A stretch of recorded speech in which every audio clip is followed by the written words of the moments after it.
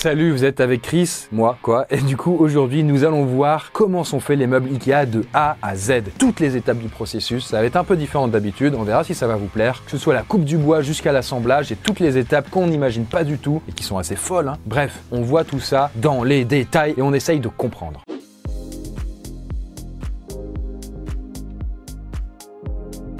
Alors là, du coup, on voit les gars qui sont en train de planter des arbres. Donc là, ouais, ok, ils sont en train de planter directement leur forêt. Vous voyez, Ikea, il achète du bois dans plein de pays, mais il possède aussi leur forêt quand même, quoi. Par exemple, bah, il plante des peupliers au printemps, et au bout de 5 ans, les arbres sont matures, et là, hop, il les coupe. Et en vrai, Ikea, ils sont capables de générer près de 21 millions de mètres cubes de bois par an. C'est immense. C'est énorme Et ils sont tellement gros qu'ils consomment 1% des réserves mondiales de bois tous les ans. Et donc, bah, planter les arbres, c'est le point de départ, quoi. Merci, bonne plantation. Après, évidemment, ils ont aussi des projets de reforestation et un programme de gestion des forêts d'ici 2030. Mais bon, ça, c'est un peu la base. hein. Donc voilà, ils plantent les arbres, ok, mais qu'est-ce qui se passe quand on coupe? Comment ils procèdent déjà? Est-ce qu'il y a des mecs avec leur hache, ils viennent? Alors, c'est pas un mec avec une hache, non? Ok. Putain, c'est marrant une machine comme ça.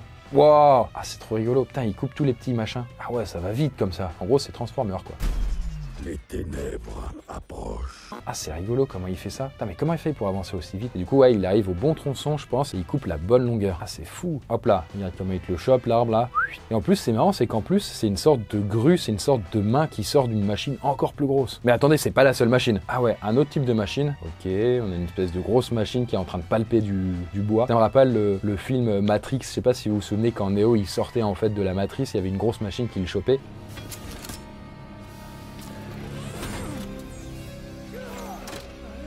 Me faisait penser à ça. Néo est-il un tronc d'arbre? Je ne sais pas. Et zoup Putain, on dirait qu'il te le décalote quoi. C'est trop rigolo. Alors, faut savoir, il y a quelques années, Ikea, il a été accusé d'acheter du bois coupé illégalement. Donc, un petit contraste avec leur discours officiel. Mais d'après eux, tous les arbres qu'ils abattent sont certifiés FSC. Donc, en gros, une gestion écologique du bois. Voilà, il n'y a pas d'abus normalement. Là, on voit différents types de troncs. Mais les plus courants, en fait, c'est le pin, le bouleau, le hêtre et l'acacia. Ok? Et donc, les troncs sont découpés comme des allumettes. Et puis, ensuite, ils sont transportés à la série pour être transformés.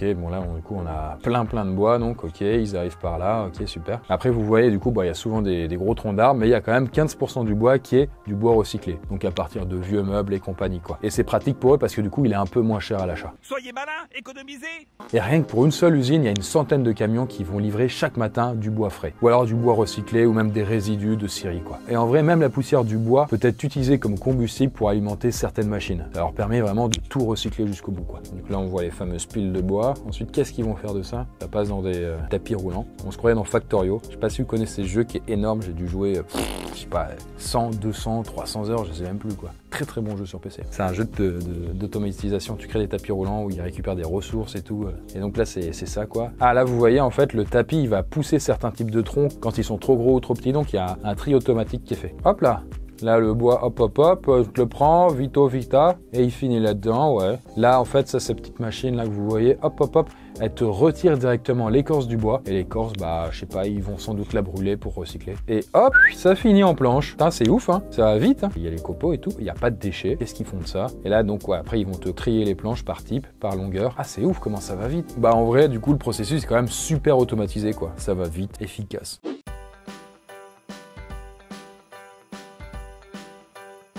Là maintenant on passe à l'étape du broyage. Là regardez par exemple ce bois, ils vont se dire non on va pas le transformer en tronc d'arbre, va les steaks. Waouh c'est fou. Il y a un truc un peu, un peu triste, je sais pas pour vous, mais comment un tronc d'arbre, enfin un, un être vivant du coup, parce que les arbres sont vivants, et oui, bah il te le finit en, en granulé quoi.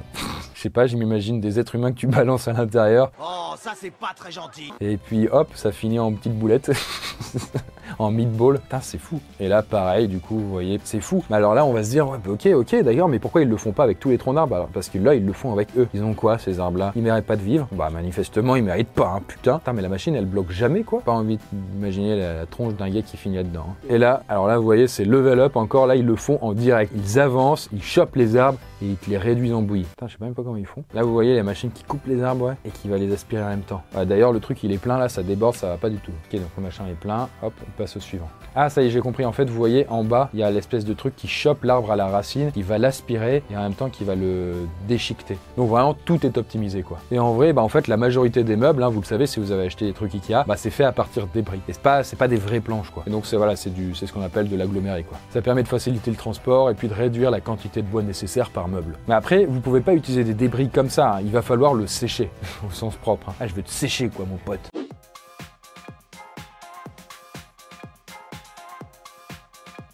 Bah alors là, vous voyez, il y a des débris. Alors, il y a de la terre aussi. Non.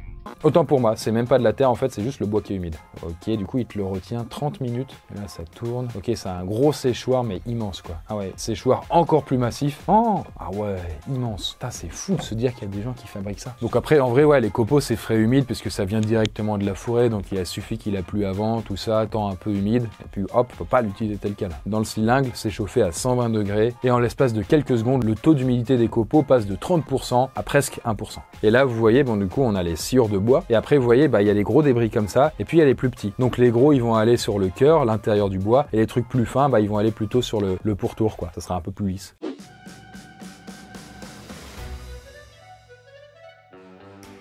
Et là, ça va être l'étape où ils vont engluer pour fabriquer euh, bah, de la sciure. Ils vont faire des planches, quoi. Ah ouais, ça se remplit comme ça, ok. Là, on voit du coup toutes les, tous les copeaux. Ah oui, oui, on valide bien avec le mec. Ouais, c'est du copeau, quoi. Là, vous voyez, en fait, on commence à le voir un petit peu. C'est là où il balance un peu de glu directement avec le bois. Et là, ça, cette machine-là, on voit ça, là, c'est elle qui va mettre bien droit et qui va bien aplatir le panneau. S'il est complètement de traviole, ça n'a pas de sens, c'est pas un panneau. Du coup, cette espèce de glu, c'est comme de la résine, quoi, qu'ils vont foutre avec le bois pour que ça colle. Et parfois, ils vont mettre des additifs pour protéger le bois contre les insectes, hein, typiquement. Alors attendez, jusqu'avant, c'était pas encore un panneau. hein. C'est là où ils vont vraiment le, compresser et lui mettre une petite surface justement pour que ça ressemble à, un grand panneau blanc. Quoi. Ils vont le presser à chaud, comme ils le disent. Et là, vous, en fait, si vous mélangez de la colle avec du bois, ça va pas faire un panneau. hein. parce qu'il y a une étape hyper importante qui est un peu bizarre, ça s'appelle la polymérisation. Et donc, c'est en gros, c'est la chaleur et la pression qui vont transformer cette espèce de bouillie en un panneau rigide et puis costaud. Quoi. Et donc, ça devient des plaques d'aggloméré. Et donc, bah, l'aggloméré, comme on l'a dit, c'est la plupart des meubles Ikea.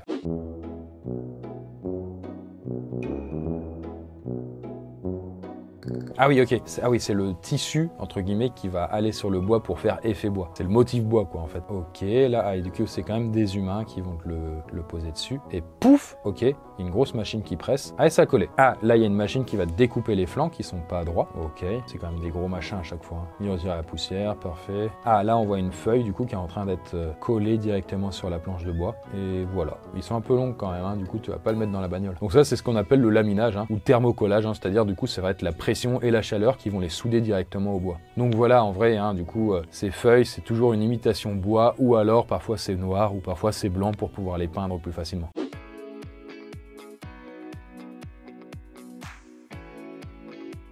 C'est la salle aux éventails. Waouh, n'est pas un vaisseau spatial, hein. toujours du bois, euh, ça va finir dans votre salon quoi. Pourquoi ils les mettent sous cette forme, c'est marrant. Et là, regardez-moi cet énorme machin, et ça s'appelle vraiment comme ça, hein, c'est la salle aux éventails. Oui, ok, pourquoi? Bah, En fait, parce qu'après avoir été laminé, donc on leur a collé une lame dessus, hein, la déco, une feuille, bah les plaques elles doivent être refroidies, tout ça c'est très chaud. Et donc en vrai les gars ils se sont dit, le plus simple pour les refroidir c'est sous forme d'éventail. Elles vont rester comme ça pendant 24 heures, puis ensuite bah du coup elles sont reparties pour la fabrication du meuble. Ah, ok, là il y a l'atelier de découpe. Encore une fois, c'est des grosses machines, quoi. Donc ouais, ouais, ça, ça coupe. Hein. Du coup, voilà, c'est le principe. On a déjà les planches et tout, et il y a juste à ajuster à la bonne taille selon le type de meuble. hein. Et puis, en même temps, on le voit pas, mais le bois, il est poncé. En gros, du coup, faut qu'il soit bien lisse pour éviter qu'on se, prenne des échardes hein, dans les doigts. Il te plaque les, les- trucs, ok, et il perce. Ah, ça va vite. hein. Là, c'est quand même des méga grosses usines. Les gars, ils sont rodés quand même, clairement, quand on voit ça.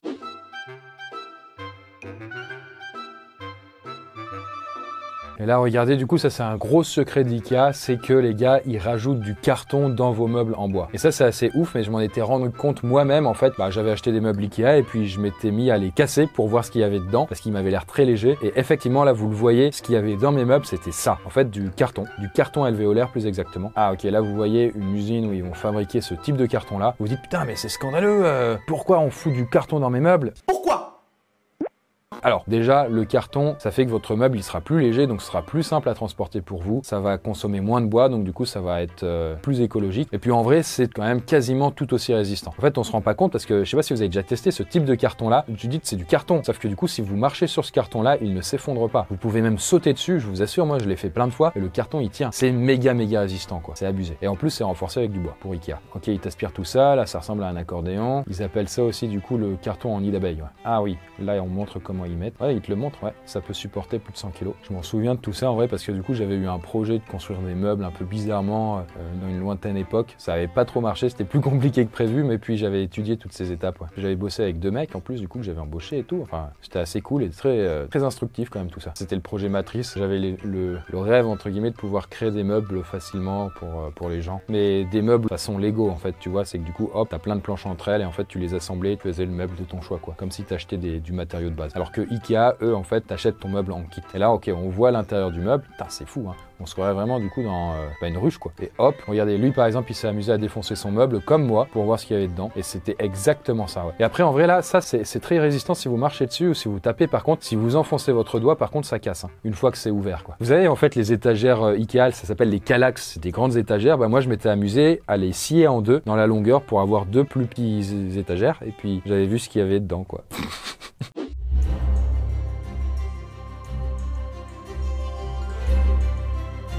là, regardez qu'est-ce qu'on a. Ok, bah en fait, c'est l'étape de la peinture. Et la, ouais, la machine fait des va-et-vient. C'est normal, vous inquiétez pas. Donc là, on voit encore du coup la même étape, sauf que là, ils vont les peindre en blanc. Et hop, ça va te faire des portes. Après, du coup, là, c'est traité avec du vernis, ça lui donne un aspect brillant. Après, il y a un tunnel qui va permettre de sécher. Alors, c'est assez rigolo, mais il y a un courant d'air ensuite qui va être soufflé sur les meubles qui sont peints pour bien lisser la peinture dessus éviter d'avoir des petits bourrelets, vous savez. Et là, hop, vous voyez les fameux courants d'air. Et là, regardez ces machines-là. Ah, c'est une sorte de grosses tentacules. Ces espèces de machins violets, c'est des lumières ultraviolettes et c'est ce qui va permettre de durcir la peinture. C'est ouf hein, quand même. Et ça fait que du coup c'est quasiment instantanément sec quoi.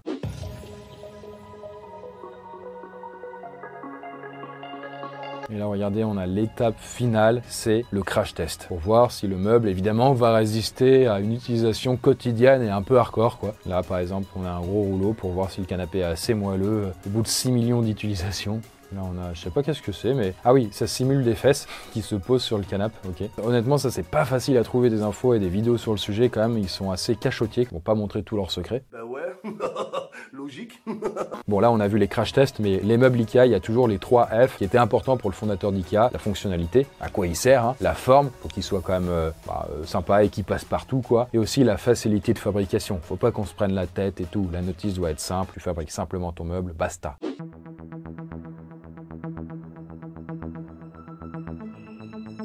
Et la véritable étape finale. Et c'est, ta ta ta ta, bah du coup les gars, c'est l'emballage. Et parfois, évidemment, il n'y a pas les robots et donc du coup ils sont obligés de faire appel, j'utilisais un terme un peu injurieux, des humains. Bon, ils essayent au maximum d'avoir quand même des gros robots comme ça qui vont bien emballer le truc eux-mêmes. Et après, hop hop hop, ça va finir du coup dans les centres Ikea et puis t'achètes ça quoi. Et en vrai, toutes ces étapes, ça a pris que deux semaines. C'est-à-dire le moment où ils chopent le tronc d'arbre et ils te le décalotent jusqu'au moment où euh, ça a atterri en magasin, il y a que deux semaines qui se sont passées. Et bien voilà pour la fabrication d'un meuble Ikea de A à Z. J'espère que ça vous a plu, que cette forme un peu différente euh, vous a séduit. S'il y a d'autres idées qui vous intéressent dans les A à Z, n'hésitez pas à en parler. Si vous êtes réceptif à cette forme, bah, j'aimerais en faire d'autres, sinon bah, du coup c'est pas grave, je changerai. En tout cas, moi j'avoue, ça me hype pas mal en fait, de voir toutes ces étapes et ces côtés un peu euh, inventifs en fait, comment ils font tout ça. On peut imaginer plein d'autres trucs, des trucs de la vie quotidienne, euh, plein d'objets qu'on voit tous les jours et du coup on ne sait pas comment c'est fabriqué. Tiens, regardez comment c'est fait un téléphone portable, une souris, un livre, le médaillon d'Orion d'ailleurs très bon livre. Il marche de mieux en mieux. Bah du coup, ça, bah, on pourrait en parler. Sur ce, bah, c'est tout pour moi. Je vous dis à très bientôt. Bye